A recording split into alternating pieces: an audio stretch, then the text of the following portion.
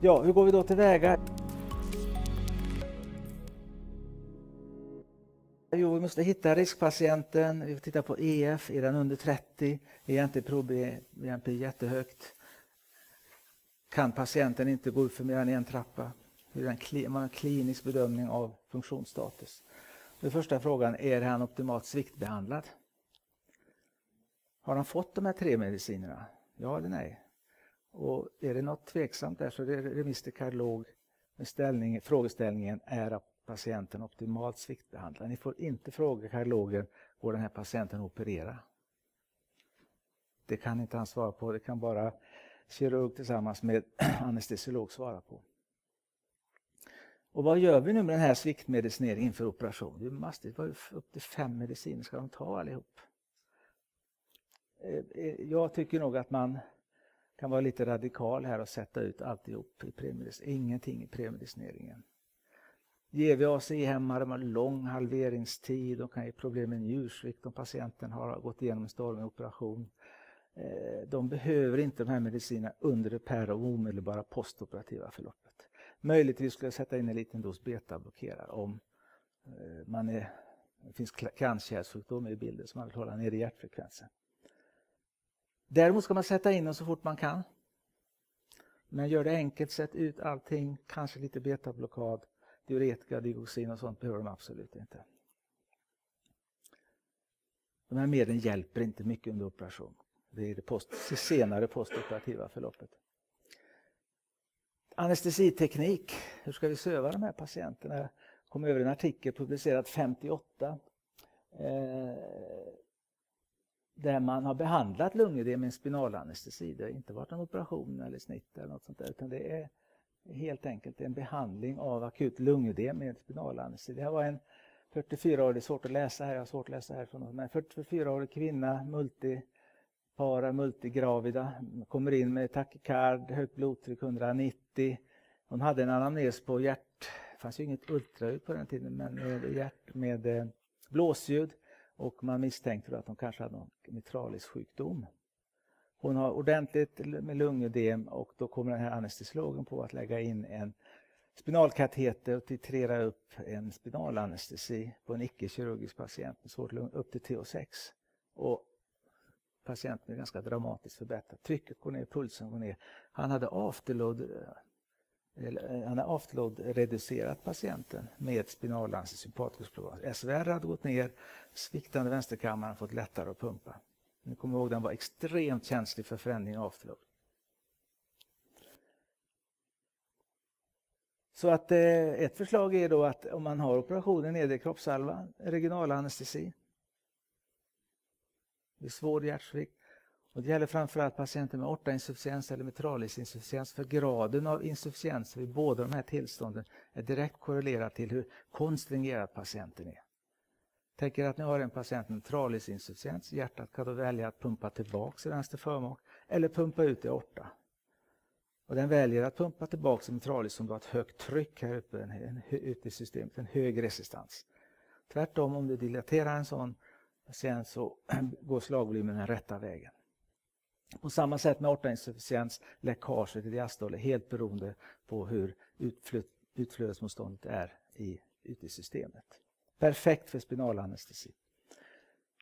Vad säger om den här patienten då, eh, tvillinggraviditet, eh, vecka 33, söker på grund av andfådd bensvullnad, tidigare hjärtfrisk, lågt tryck, takikard, lätt saturation, EKG, lite störningar, ultraljud, svår vänsterkammarsvikt och högerkammarsvikt. Biventrikulär svikt, EFs 20 Tricus medalis insufficiens. Det var en patient med peripartum kardiomyopati som kommer in där man då bestämmer akut sektio.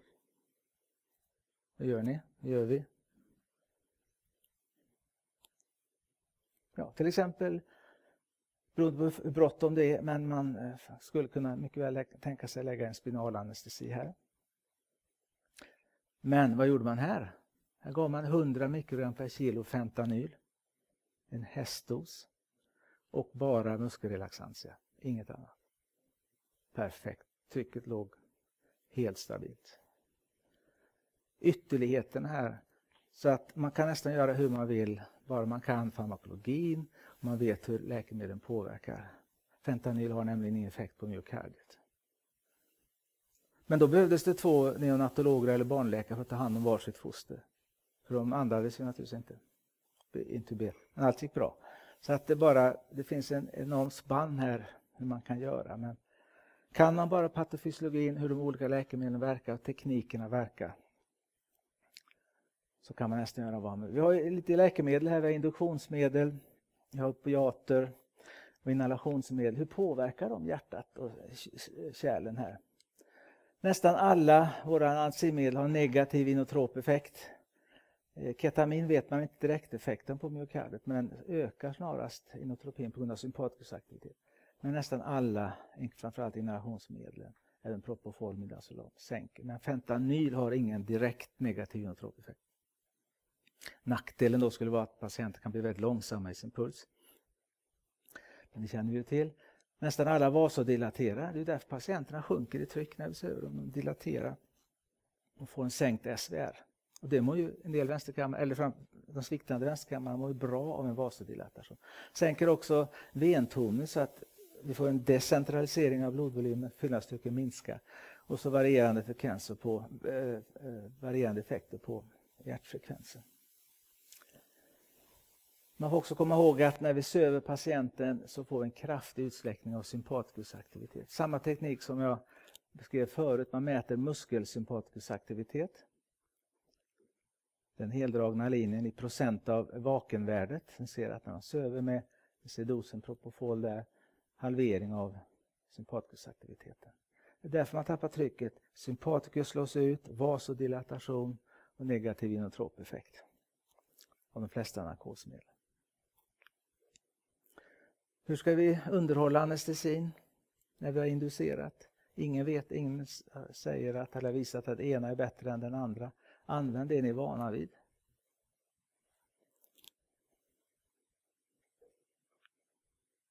Monitorering, eh, standardmonitorering. Man anser väl kanske inte att alla patienter med hjärtstopp har PA-kateter. Däremot rekommenderar man eh, transesofagalt ultraljud om man har peroperativ svår instabilitet. Står det guidelines. Eh, som sagt, söv som ni brukar. Ta hjälp av våra vasaktiva läkemedel. Vi har massvis av dem. Vi har katekolaminerna. Alla är inotropa, alla har effekt på blodkärlen. Vi har fosfodiesterashämmaren och levosimendan, kalciumsensitiserare. Eh, Katekolamina går via betareceptorn, aktiverar eh, G-proteiner, eh, aktiverar adenylcyklas så att ATP omvandlas till cykliskt AMP. Det i sin tur aktiverar fosfokinaser som öppnar kalciumkanalerna så det strömmar in kalcium i sin tur leder till att ytterligare kalcium frisätts från sarkoplasmatiska retiklet, binder till troponin och vi får en kontraktion. Milrinonet ökar också cykliskt AMP men genom att hämma omvandlingen från cykliskt AMP till ATP. Det är liksom en cirkel på det viset. Så att båda de här två ökar cykliskt AMP fast på olika sätt. Levosimendan påverkar inte kalciumkanalen utan går direkt in och ökar känsligheten för kalcium. Det andra här är också viktigt för att eh, vi får en kontraktion på det här sättet men sen måste vi också ha en relaxation och då måste kalcium pumpas tillbaks aktivt in i sarkoplasmatiska retiklet innan nästa kontraktion. Alla läkemedel har, förutom inotropa effekter, eh, basaktiva egenskaper. Vi har noradrenalinet här. Och de mest, eh, som mest kontinuerande och de mest vasodilaterande här nere. Det går inte bara att ge vasodilaterande levosimendan eller Midrinon utan eh, min erfarenhet är att man måste Eh, om man ger Melinon kombinerat med Noradrenalin. Så det är lika bra att blanda och dra upp båda delar på en gång. Eller om man är mer van med levosimendan. Noradrenalin behövs. Vi ska hitta högriskpatienten. Hur ska vi göra nu? Här då? Jo, vi ska ta fram högriskpatienten, sätta en artärnål. Om det här är komplicerad kirurgi på högrisk, då ska de här ha en CVK helst dagen innan i vaket tillstånd. Så att de kommer till operation med en CVK. Man ska inte söva, sen börja lägga CVK och hamna liksom i bakvattnet utan den ska finnas på plats innan och så mäter man centralvenös mättnad innan. för att följa sen under operation. Man ska ha de här medlen, förlåt, man ska ha de här medlen eh, kopplade, framkörda i CVK när man söver. Söv som du brukar. Targets här mapp mellan 65 och 70 centralvenös mättnad som vi nu vet var det ligger innan operation, innan anestesin ligger på den här nivån. Styr den med Milrinon. Styr CVP eh, med volym. Håll höget hemoglobinet högt. Och kanske det viktigaste av allt, se till att vara två när ni startar detta. Låt en sköta narkos, intubation och så vidare. Låt den andra bara stå och titta på blodtrycket och ställa in drogerna. Eh, Noradrenalin, kanske lägga till milinon. Och sen när allting är klart så behöver man inte vara två längre.